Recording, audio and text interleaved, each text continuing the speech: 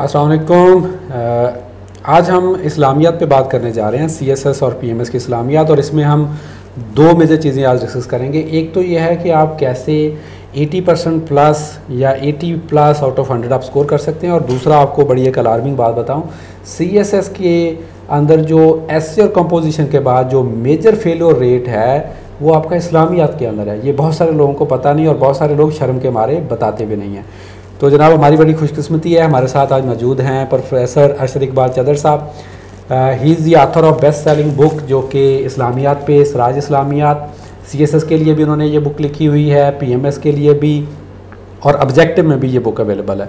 और ये वाली जो बुक है ये आपको उर्दू और इंग्लिश मीडियम दोनों में अवेलेबल है। अ, सर का मैं मज़ीद थोड़ा तारफ़ करवा दूँ। Sir is teaching to the C S S students for almost more than sixteen years पिछले सोलह साल से स्टूडेंट्स को सी एस एस पढ़ा रहे हैं माशाल्लाह किताबों के आथर भी हैं।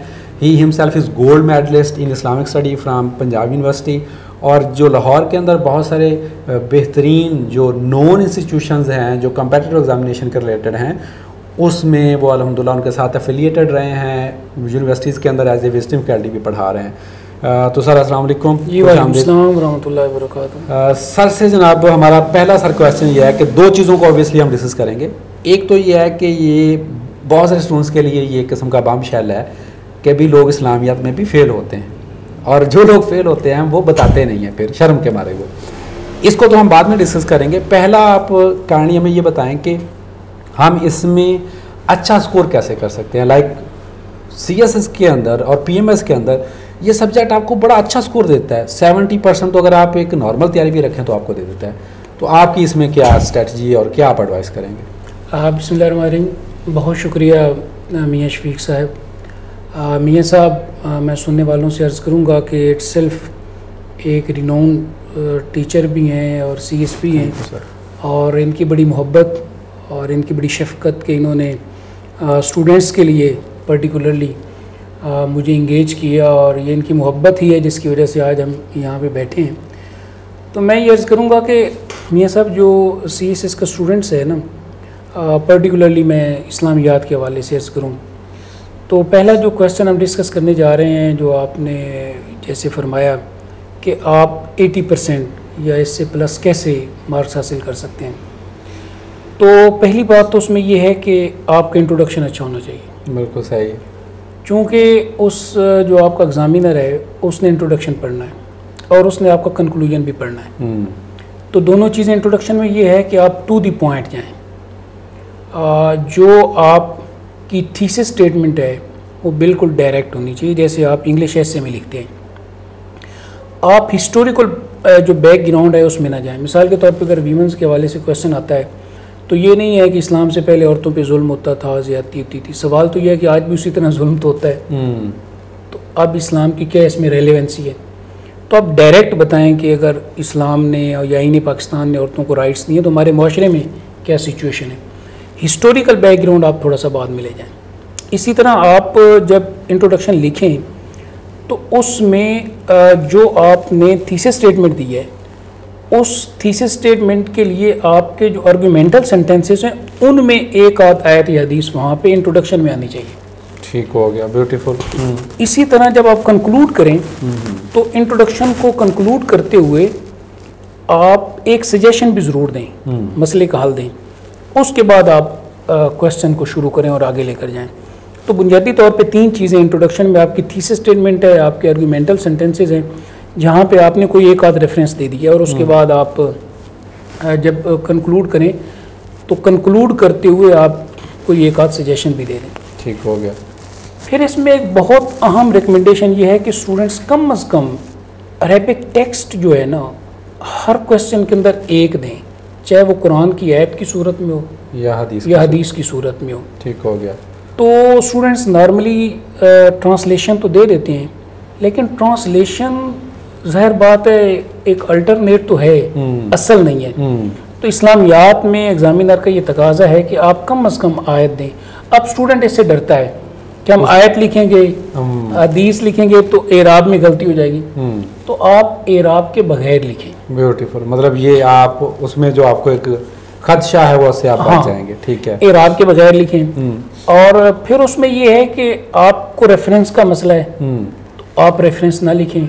आप अगर ये पता है कि कुरान मजीद क्या है तो आगे कुरान मजीद अल कुरान लिख दें। बड़ा माशाल्लाह आपने मेरा पहले सवाल का जवाब हाँ। दे दिया। मेरे माइंड में भी क्वेश्चन आ रहा था कि अच्छा उसमें ये भी तो कन्फ्यूज़न हो जाती है सॉरी टू सर कि समटाइम्स अगर जिन लोगों का बहुत पुअर नॉलेज होता है कि वो यही नहीं डिफ्रेंशिएट कर पाते कि ये कुरान पाक की हदीस है या आयत है सब टाइम अगर आप कन्फ्यूज़ हो जाते हैं पेपर में बैठे हैं प्रेशर में हैं। आपको नहीं याद रहता कि यार ये हदीस से मुबारक है या आयत मुबारक है तो इसका देखिए फिर आप रेफरेंस ना दें। अच्छा फिर रेफरेंस ना दें उसका। हम्म, फिर तो कोई हल नहीं है ना कि अगर आप भूल गए हम्म। तो फिर ये भी ना लिखें कुरान है हम्म। और ये भी ना लिखें हदीस है। ठीक है। हम्म। फिर ज़ाहिर बात है कि इम्पोर्टेंट बात है तो आपने अगर आपको ट्रांसलेशन याद है या हम्म। आपको डेफिनेटली कुछ ना कुछ चीज़ें तो आपको याद रखनी क्योंकि आपने 80 प्लस जाना है। बिल्कुल हाँ, हम तो- उसके लिए आपको एफर्ट करनी हाँ, पड़ेगी। हम तो उन लोगों के लिए बात कर रहे हैं जो 80 प्लस जाना चाहते हैं। हम्म। जो इससे नीचे रहना चाहते हैं वो कुछ भी करें। बिल्कुल सही है वो तो हमारा मसला नहीं है। सही तो जो लोग अच्छा स्कोर लेना चाहते हैं तो उनके लिए ज़रूरी है कि रेबिक टेक्स्ट दें। मस्त दें। रेबिक टेक्स्ट से मैं थोड़ा सा वजाहत कर दूँ। सर ये फरमा रहे हैं कि मस्ट या तो हदीस मुबारक अरबी के अंदर लिखें या कुरान पाक की आयत भी अरबी के अंदर मस्त लिखें। जी सर बिल्कुल ठीक हो गया।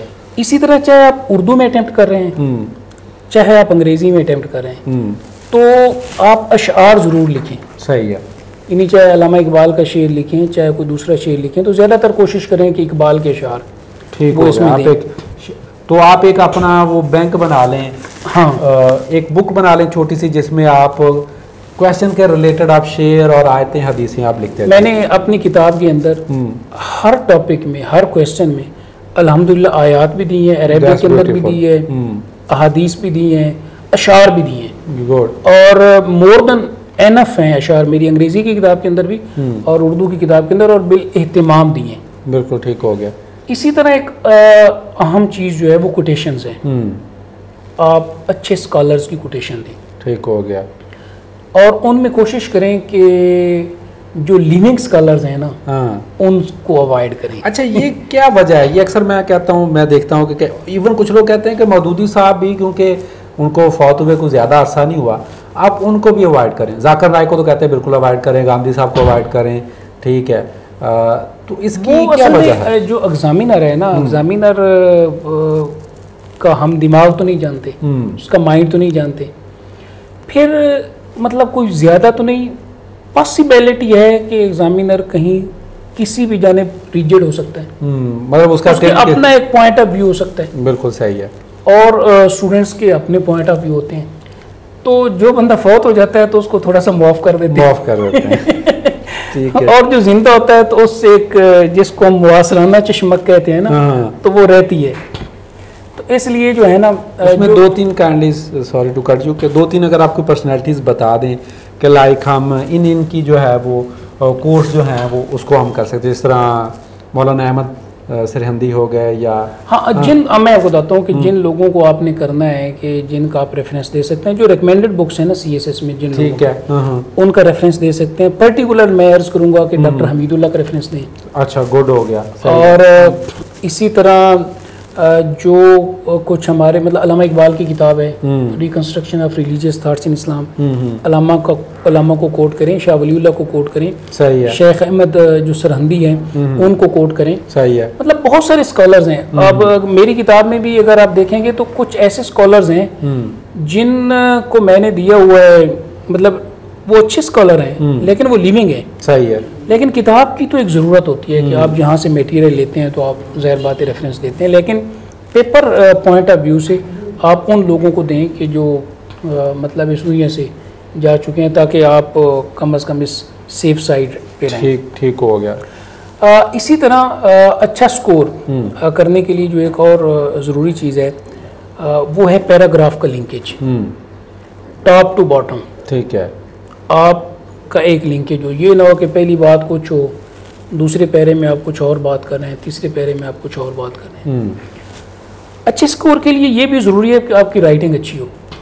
जैसे हम किसी अच्छे चेहरे को देखकर हम खुश होते हैं तो इसी तरह अच्छी राइटिंग या अच्छा पेपर दे के तो एग्जामिनर भी खुश होता है। हम्म है। या कम अज़ कम ये हो कि आपकी राइटिंग काबिल कबूल हो।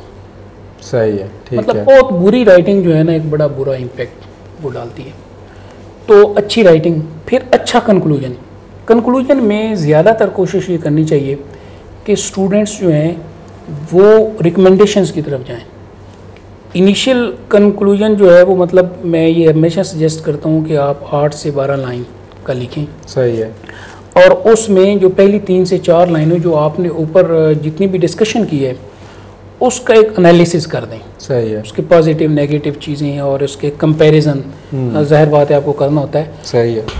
तो उसका जो आधा पोर्शन है ना बाकी कंक्लूजन का तो उस कंक्लूजन में आप रिकमेंडेशंस दें। क्योंकि सीएसएस का जो स्टूडेंट है उससे ये रिक्वायर्ड चीज़ है कि आपके पास मसले का हल है। सही है। यानी एक मसला है ज़ाहिर बात है कोई भी क्वेश्चन है तो क्वेश्चन एक मसला है। सही हो गया। और उस मसले का हल वो आपकी रिकमेंडेशन हैं। आपकी। सिफारिशात हैं हम्म। कि आपने उस मसले का हल क्या दिया है। हम्म। अब स्टूडेंट्स के अंदर प्रॉब्लम ये होता है कि ना वो अच्छा इंट्रोडक्शन लिखते हैं ना अच्छा कंक्लूजन करते हैं। सही है। ना वो दरमियान में लिंकेज में रहते हैं और कहीं पे वो राइटिंग का प्रॉब्लम हो जाता है। तो अगर आप इन सारी स्किल्स को यूज़ करते हैं जिसमें आप अरेबिक टेक्स्ट को लेकर आ रहे हैं आप अशार को लेकर आ रहे हैं आ, आपकी राइटिंग भी बेहतर है आपका टॉप टू बॉटम एक अच्छा लिंकेज है पैराग्राफ के दरमियान। इसी तरह आपका इंट्रोडक्शन कंक्लूजन बेहतर है वो कंपैरिजन भी है उसके अंदर रिकमेंडेशंस भी हैं। तो फिर हम ये उम्मीद कर सकते हैं और आपका व्यू पॉइंट जो है ना वो भी मॉडरेट है। ये है। भी बड़ा ज़रूरी ये नहीं कि आप लेफ़्ट चले जाएँ। मतलब बहुत हार्ड लाइन है हाँ आप राइट पे चले जाएँ मतलब आप हार्ड हार्ड लाइनर हो जाएँ। हम्म। राइट पे भी तो आप हार्ड लाइनर हो सकते हैं लेफ़्ट पे भी आप सकते हैं। मतलब ये नहीं आप सेकुलर मतलब लिबरल फैसिस्ट ना बन जाए हाँ। कुछ लोग लिबरल फैसिस्ट भी बन जाते हैं हाँ ना। बिल्कुल। और अगर हम जब हार्ड लाइनर से मुराद सिर्फ़ कंजर्वेटिव या राइट वाले हार्ड लाइनर नहीं बिल्कुल, हैं। हाँ। वो लिबरल वाले भी जो हैं वो लेफ़्ट वाले भी हार्ड लाइनर हो सकते हैं। मैं ये अर्ज़ कर रहा था कि आप एक मॉडरेट जो पॉइंट ऑफ़ व्यू है ना उसको लें। हम्म, मतलब आप राइट पे भी इतना ना चले जाएँ कि आप एक कंजर्वेटिव पॉइंट ऑफ़ व्यू ले लें या आप लेफ़्ट पे चले जाएँ हम्म, तो मॉडरेशन जो है ना बहुत सारे स्टूडेंट्स को उसका पता नहीं होता कि मॉडरेशन क्या है। हम्म, तो बाज़ लोग मिसाल के तौर पर इस्लाम के पोलिटिकल सिस्टम में हिजब तहरीर की राइटिंग्स को पढ़ते हैं और उसमें कहते हैं कि इस्लाम तो पोलिटिकल सिस्टम देता ही नहीं हम्म, या बहुत कंजर्वेटिव हो जाते हैं और कहते हैं जी ये वेस्ट का पोलिटिकल सिस्टम है ये बिल्कुल फारिग है और हाँ। उसको निज़ाम कुफ्र कह देते हैं। हाँ, और वो समझ रहते हैं कि शायद हमने इस्लाम का पॉइंट ऑफ़ व्यू दे दिया है हाँ। कि अगर हमने सियासत पर इतनी तनकीद कर दी कि ये निज़ाम कुफ्र है तो ये फिर गलत हो जाता है। फिर ये चीज़ें तो आपको फेलियर की तरफ़ ले जाती हैं। इससे अवॉइड करना चाहिए। अच्छा मैं अभी माशाल्लाह आपकी जो हमारी डिस्कशन चल रही थी उसी में से एक सर सेकंड क्वेश्चन जो है वो बड़ा आता है कि इस्लामियात उर्दू में ऑप्ट करें या इंग्लिश में ऑप्ट करें? ये आपसे भी बहुत ज़्यादा स्टूडेंट्स पूछते होंगे। और क्या इसका स्कोर से भी कोई ताल्लुक है? देखिए इस्लामियात का उर्दू या अंग्रेज़ी में स्कोर से तो कोई ताल्लुक नहीं लेकिन एक स्टूडेंट से बिल्कुल ताल्लुक हो सकता है। हम्म, मतलब किसी स्टूडेंट का उर्दू में अच्छा एक्सप्रेशन है तो उसके उर्दू में नंबर ज़्यादा आएँगे किसी के अंग्रेज़ी में अच्छा एक्सप्रेशन है तो उसके अंग्रेज़ी में अच्छे नंबर आ जाएँगे।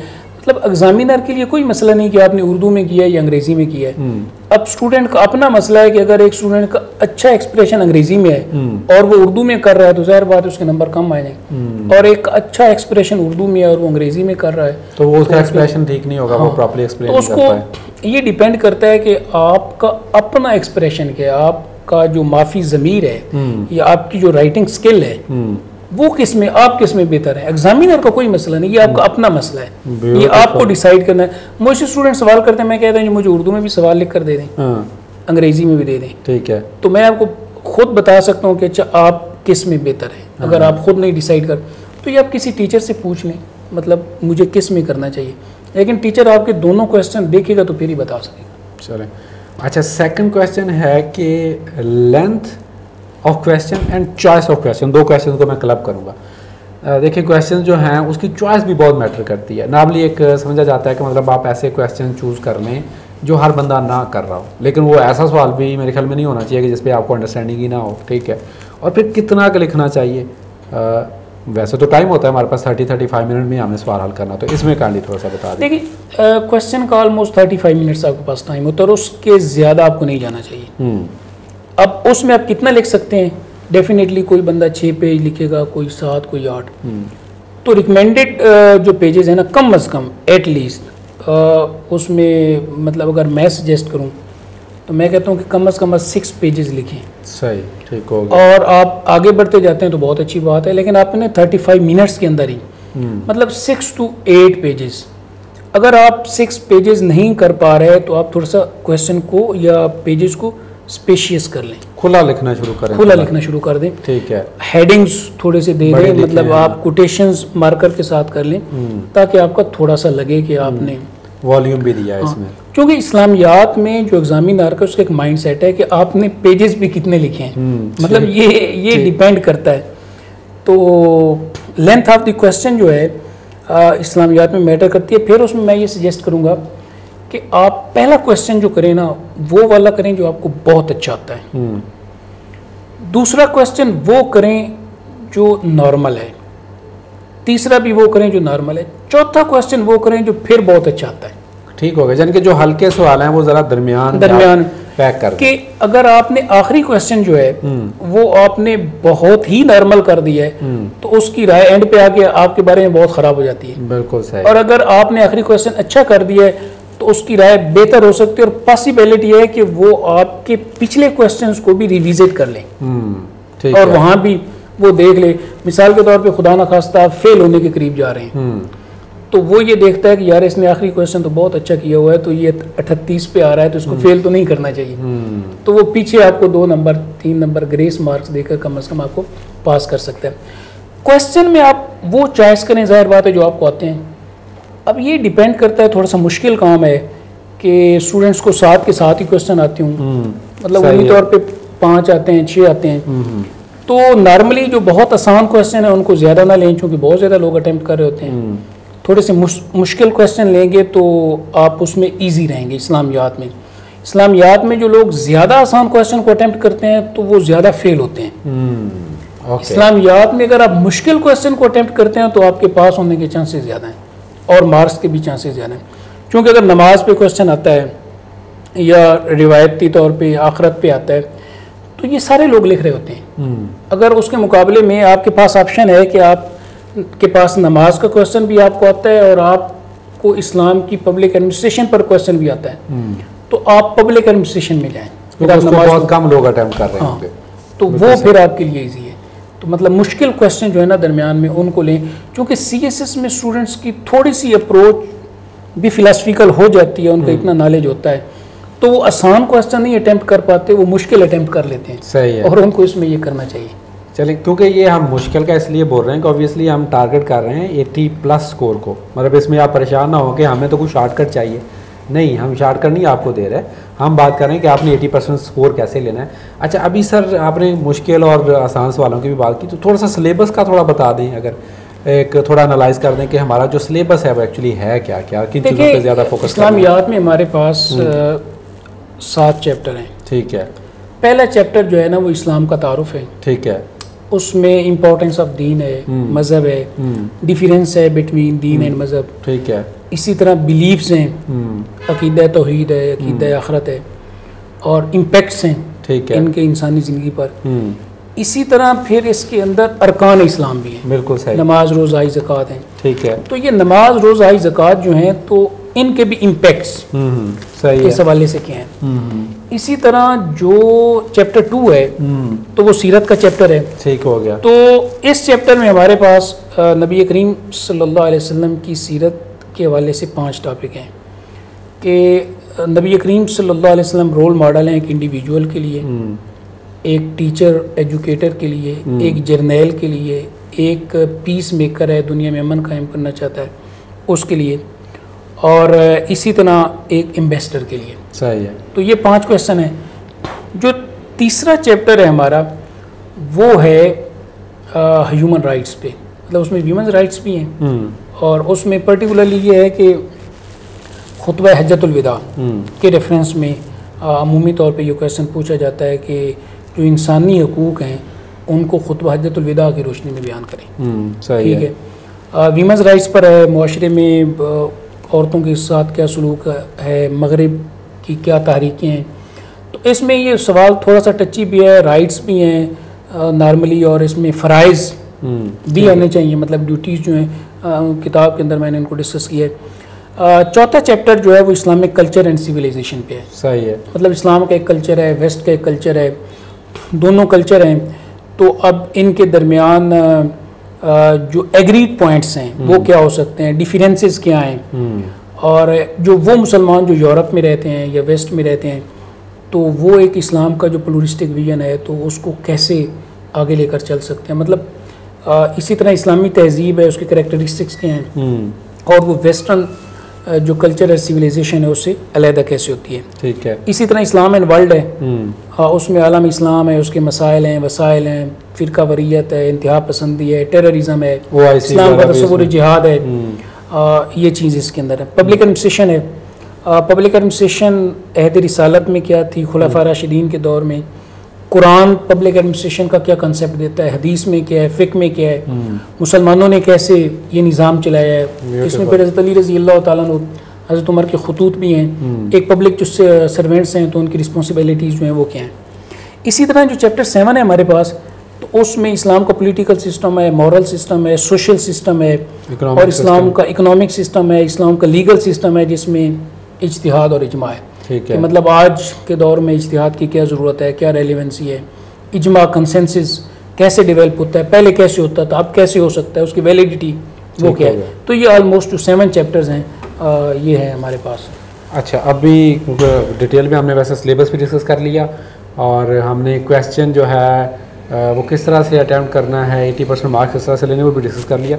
थोड़ा सा सा पेपर अटैम्प्टिंग टेक्निक सिर्फ़ हमें इतना बता दें क्योंकि माशाल्लाह आपने ब्यूटीफुली पहले वैसे एक्सप्लेन कर दिया है कि इसकी पेपर अटैम्प्टिंग टेक्निक दूसरे पेपर से थोड़ी डिफरेंट है या कि सेम है या आप किस तरह के कहेंगे अच्छा पेपर उसकी क्या प्रेजेंटेशन होगी देखिए पेपर टेक्निक मतलब कुछ हद तक तो ये बाकी जो पेपर्स हैं उनके साथ बिल्कुल आप ये कह लें कि उसी तरह हैं हम्म। कुछ हवालों से मुख्तलिफ़ है हम्म।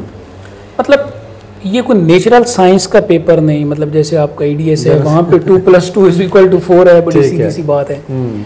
इस्लामियात है कुछ चीज़ें टची हो सकती हैं सही है आ, मतलब सोशल जो एस्पेक्ट्स हैं हम्म। उनमें पॉइंट ऑफ़ व्यू का डिफरेंसेस होता है फिर इसमें आपने फिरका वरीत से बहुत बचना होता है हम्म। आपने एक अच्छी प्रेजेंटेशन में मॉडरेशन भी देनी है।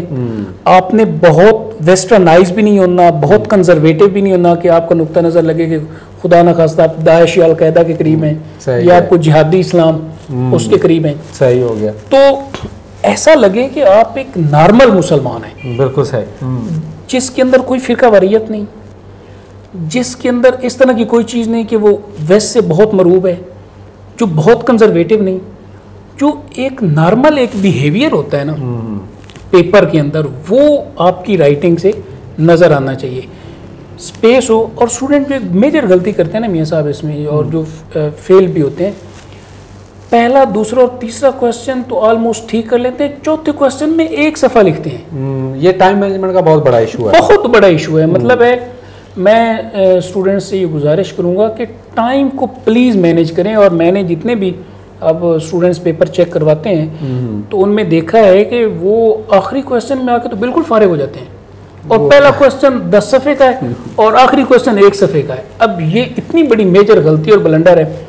फिर कहते हैं सर तैयारी तो बहुत की थी लेकिन अब वहाँ पे क्या करके आए तो इस तरह की गलतियाँ नहीं करनी चाहिए। ये सर का आई एन रोज के अक्सर जो स्टूडेंट्स अच्छा उसकी मिस्टेक क्या होती है? सर के प्रैक्टिस नहीं करते ना बच्चे। हाँ। तीन घंटे में बैठ के आप पहले कोई पेपर करें मॉक पेपर करें मॉक टेस्ट करें तो उससे आपको आइडिया हो जाता है। और दूसरा पेपर आपने किया जनाब क्वेश्चन जो किया वो आपने किया 45 मिनट्स का। तीसरा सवाल किया आपने जनाब फ़र्ज़ किया 30 मिनट्स का। वो आपका टाइम भी श्रिंक होता जाता है, फिर बंदा जब घड़ी को देखता है, पता चलता है प्रेशर है, फिर आखिरी सवाल 10 मिनट का या पाँच मिनट का। तो वो ऑब्वियसली फिर एक आखिरी क्वेश्चन आप समझे, आपने किया ही नहीं। वो बच्चे पता क्या कहते हैं? वो, सर, मैंने आखिरी सवाल जो है वो दो सफ़े का लिखा है, मुझे दस नंबर मिल जाएँगे। ये बड़ी बड़ी एक मेजर तो उसमें सारी बात दस नंबर क्या मिलने? अच्छा सर अभी मेरा आपसे जो नेक्स्ट क्वेश्चन है वेरी इंपॉर्टेंट क्वेश्चन जो मैं अभी आपसे ये क्वेश्चन पूछने जा रहा हूँ कि वेरी अलार्मिंग के लोग इस्लामियात में फ़ेल होते हैं और फिर शर्म के मारे बताते भी नहीं हैं। ठीक है? तो क्या what are the major reasons कोई चार पाँच पॉइंट हमें बता दें कि जो आम बच्चे अवॉइड करें कि फेल ना हो एटलीस्ट इस सब्जेक्ट में। जी। देखिए मियाँ साहब आपका जो क्वेश्चन है ना बीस नंबर का सब्जेक्टिव हम्म। तो उसमें देखें दस नंबर आठ से दस नंबर तो आपके कंटेंट के हैं। ठीक हो गया। बाकी जो दस नंबर है ना वो आपका इंट्रोडक्शन है कंक्लूजन है आपकी राइटिंग्स के राइटिंग कैसी है आ, आपने कोई शेर लिखा है कोई आयत दी है कोई हदीस दी है कोई कोटेशन दी है कोई रेफरेंस दी है कोई लिंकेज मतलब दस नंबर तो इसके हैं। बिल्कुल सही जो आपका मेजर कंटेंट है वो आठ से दस नंबर का और दस नंबर जिन चीज़ों से आप मेकअप करते हैं क्वेश्चन को। मतलब ये सारी चीज़ें हैं जिनसे आप क्वेश्चन को उठाते हैं। जो स्टूडेंट्स फेल होते हैं ना उनका प्रॉब्लम ये होता है कि सिर्फ़ उनके क्वेश्चन के अंदर कंटेंट होता है। हम्म। इन दस नंबरों में से कुछ भी नहीं होता। ना अच्छा इंट्रोडक्शन ना कंक्लूजन ना राइटिंग ना पैराग्राफ लिंकेज ना कोई आयत ना कोई हदीस ना कोई शेर ना कोई कोटेशन ये कि ये जो प्रेजेंटेशन का आपने एक पैटर्न हाँ। बताया था वो बहुत सारे स्टूडेंट मुझे लगता है वो फॉलो नहीं करते अच्छा जब आपने फॉलो नहीं किया तो इसका मतलब है 80 में से आपने अटेम्प्ट ही बेसिकली 40 नंबर का किया। 40 मार्क्स का किया है या आपने 40 से 45 मार्क्स का किया। ठीक है। अब उसमें प्रॉब्लम क्या होती है? कोई एक क्वेश्चन ऐसा होता है जहाँ पे आपके थॉट से वो डिफरेंशिएट डिसएग्री कर जाता है। डिसएग्री कर जाता है बिल्कुल सही है। उसमें वो कहता है कि आपने तो अकॉर्डिंग टू जो क्वेश्चन का टेक्स्ट है ना उसमें लिखा ही नहीं है। हम्म पहले ही आप 40 का कर रहे हैं हल। हाँ। 40 तो पहले लूज कर गया प्रेजेंटेशन की वजह से। ठीक है। तो ये जो है ना मतलब वहाँ पे आके उसने ये जो एक क्वेश्चन से और समटाइम हो सकता है दो क्वेश्चन से डिसएग्री कर जाए हम्म। जो दस नंबर उसने आपको देने थे वहाँ पे अगर वो बहुत ज़्यादा डिफी मतलब डिसएग्री कर रहा है तो हो सकता है आपको दो नंबर दे या ना दे या पाँच दे दे। और अगर आपको दो सवालों में इस तरह हो जाता है तो यू आर ऑन हाँ। वेरी मतलब फिर तो आप तो वेंटिलेटर पे है ना। अब फिर आपको कोई चीज़ बचा सकती है अगर आपका ऑब्जेक्टिव में कुछ आपको मिल जाता है। मतलब आपके आ, कोई दस बारह ऑब्जेक्टिव्स ठीक हैं हम्म। तो फिर पॉसिबिलिटी है कि आप वहाँ से बच जाएँ। ठीक है। तो जो स्टूडेंट्स फेल होते हैं ना उनकी मेजर रीज़न ये होती है कि जो मेकअप का काम है ना वो ये नहीं कर रहे होते मतलब वहाँ पे हम्म। ये चीज़ें नहीं कर रहे होते। वो सब्जेक्टिव में क्वेश्चन ही जो है ना वो चालीस नंबर को कर रहे होते हैं। सही है। एक हाथ से एग्जामिनर डिसएग्री कर रहा है या उसने अच्छे नंबर नहीं दिए। और उधर से जो ऑब्जेक्टिव का पोर्शन है वहाँ से भी छः सात आठ नंबर मिले। हम्म। अल्टीमेटली कोई थर्टी फाइव पे गिर जाता है कोई थर्टी एट पे कोई थर्टी नाइन पे कोई थर्टी पे। हम्म। तो ये जो है ना पोर्शन मतलब ये फेल होने की बड़ी वजह है। ओके अच्छा वो डिसएग्री क्यों करता है? वही बात जो हम पहले डिस्कस कर रहे थे कि वो उस क्वेश्चन में देखता है कि आप मॉडरेट नहीं रहे। आप या अल्ट्रा लिबरल हो गए या अल्ट्रा ऑर्थोडॉक्स आप हो ऑर्थोडॉक्स हो गए। हम्म। ये उसके मतलब है ना डिसएग्री करने की ज़रूरत है नॉर्मल कंटेंट का कोई मसला नहीं होता वो कोई ज़रूरी नहीं है मतलब आप अगर ग्रे एरिया में इस कदर आप लिखते हैं कि जो काबिल कबूल है हम्म।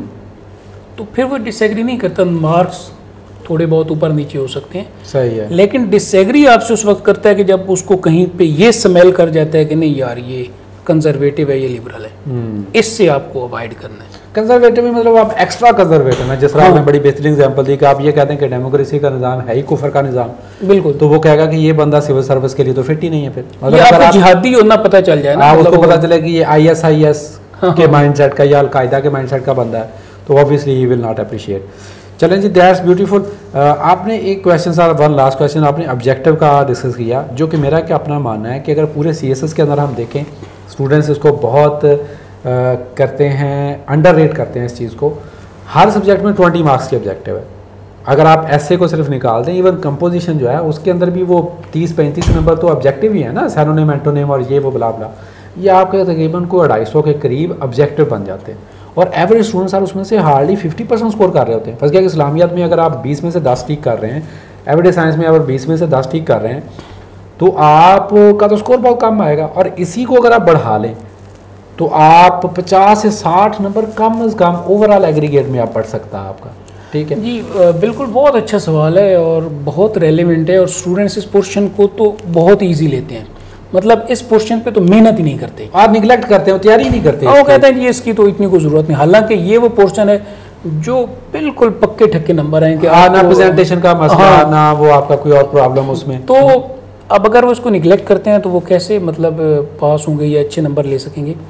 देखिए मेरी इस पर प्रॉपर किताब है। ठीक है। और उस वर्ल्ड टाइम ने शाये की है जैसे बाकी किताबें भी शाये की तो उसमें मियाँ साहब जो मेजर बात है ना जो इस्लाम या एम इस्लामियात के दस बारह पेपर्स हैं हम्म। उनमें से मैं बताता हूँ। मतलब कुरान का पेपर है हदीस का है ठीक है सीरत का है तारीख़ है तकाबुल अदियान है इस्लाम और साइंस है।